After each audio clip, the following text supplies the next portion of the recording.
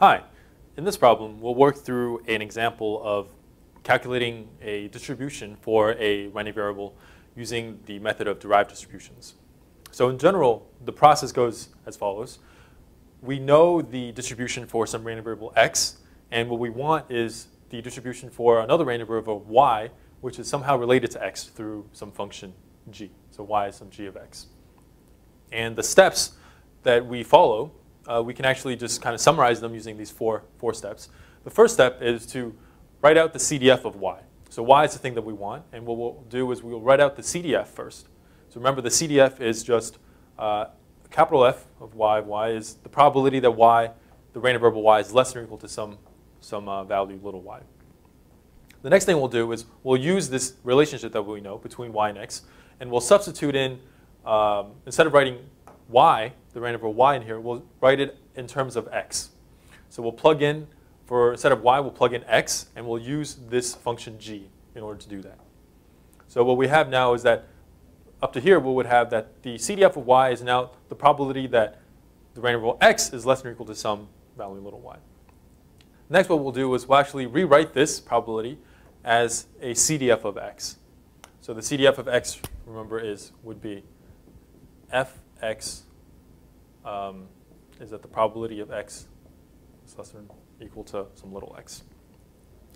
And then once we have that, if we differentiate this, what we get is um, when we differentiate the CDF of x, we get the PDF of x. And what we presume is that we know this PDF already. And from that, what we get is when we differentiate this thing, we get the PDF of y. So through this whole process, what we get is we'll get a relationship between the PDF of y and the PDF of x. So that is the process for calculating out the PDF of y using x. So let's go into our specific example in this case. What we're told is that x, the one that we know, is a standard normal random variable, meaning that it's mean 0 and uh, variance 1. And so we know the form of the PDF. The PDF of x is uh, this, 1 over square root of 2 pi e to the minus x squared over 2. And then the next thing that we're told is this relationship between x and y. So what we're told is uh, for uh, if x is negative, then y is minus x. If x is positive, then y is the square root of x. So this is a graphical rep representation of the, the relationship between x and y. All right. So we have everything that we need. And now let's just go through this process and calculate what the PDF of y is. So the first thing that we do is we write out the PDF of y. So the PDF of y is uh, what, we, what we've written. It's the probability that the random variable y is less than or equal to some little y. All right. Now the next step that we do is we have to substitute in, um, instead of in terms of y, we want to substitute it in terms of x because we actually know uh, stuff about x, but we don't know anything about y. So what is the probability that y the random variable y is less than or equal to some little y. Well, let's go back to this relationship and see if we can figure that out. So let's pretend that uh, here is our little y.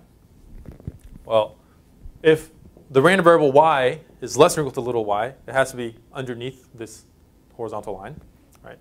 And in order for it to be underneath this horizontal line, that means that x has to be between uh, this range.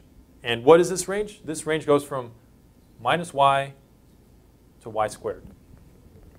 All right, so why is that? It's because in this, in this portion, x and y are related as uh, y is negative x, and here it's y is square root of x. Right, so if x is y squared, then y would be y. If x is negative y, then y would be y. All right, so this is the range that we're looking for. So if y, the range of y is less than or equal to little y, then um, this is the same as if the random variable x is between negative y and y squared. So let's plug that in. This is the same as the probability that x is between negative y and y squared. All right, so that's those are the first two steps.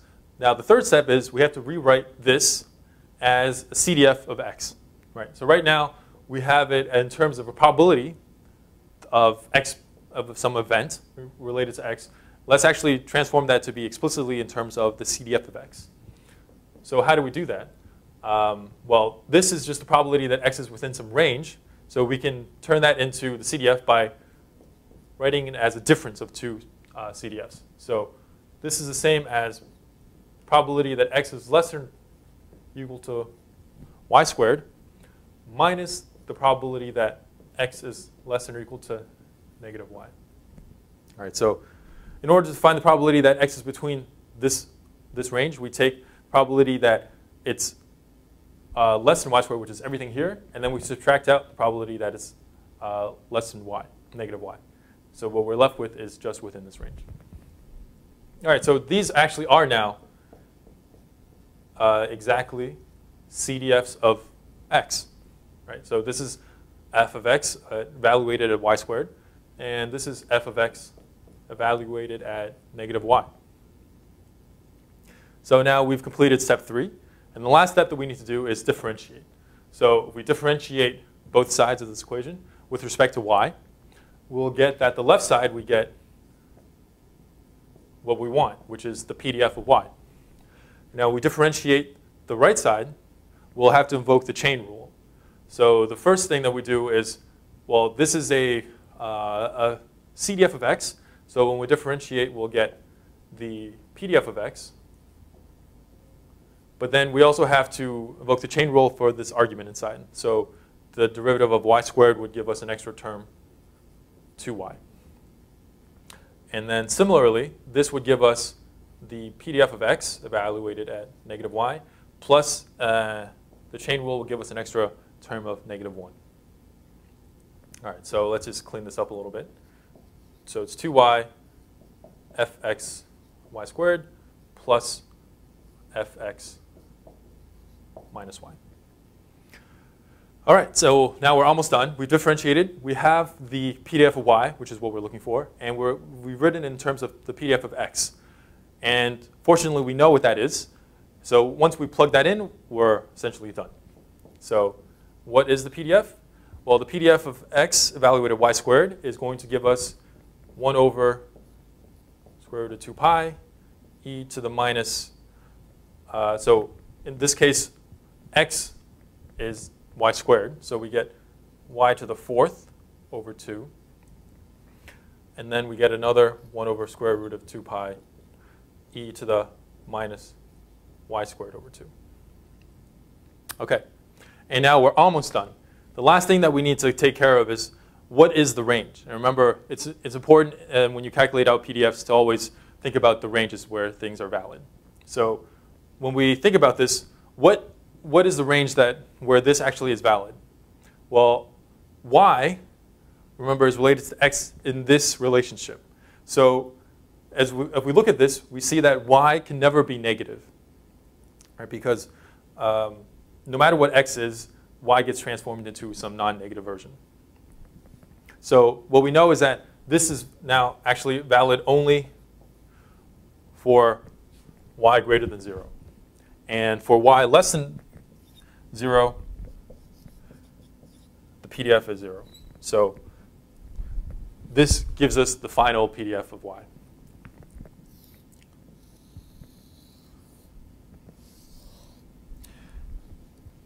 All right, so it seems like at first when you start doing these derived distribution problems that it's pretty difficult. Uh, but if we just remember that there are these pretty um, straightforward steps that we follow, as, and as long as you go through these steps and do them methodically, then you can actually come up with the solution for any of these problems. And one last thing to remember is uh, to always think about what are the ranges where these things are valid.